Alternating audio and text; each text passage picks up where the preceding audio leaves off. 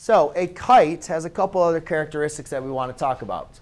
Um, and there's obviously a different, a couple different types of you know kites that we're going to be dealing with, but there's some characteristics of kites. First of all, with kites, all right.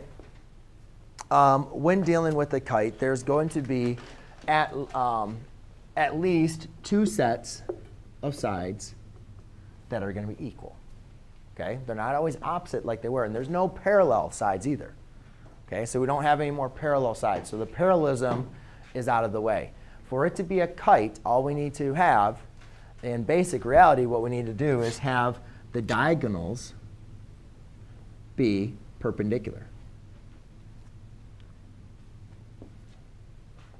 Okay, so the diagonals are perpendicular. Are you writing this one down, AJ? Exactly. Your diagonals are perpendicular as well as you have two sets of congruent sides. And then also, another thing that's nice about kites is you're going to have at least one pair of opposite equal, um, opposite or congruent uh, angles. You guys can see that these two angles would not be congruent to each other. Here, why don't I if I did like this?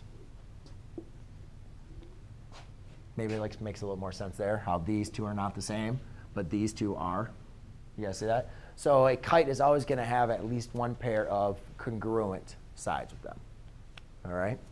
Um, and that's really the base of the sides. Just notice, guys, since we have a right angle, right? They're perpendicular sides since we have the right angle. Therefore, what do you think is going to come to play on your uh, homework? Some theorem that starts with a P. Pythagorean theorem. So think about it when you guys have it um, when we go over this. And I can... Uh, I can go over a problem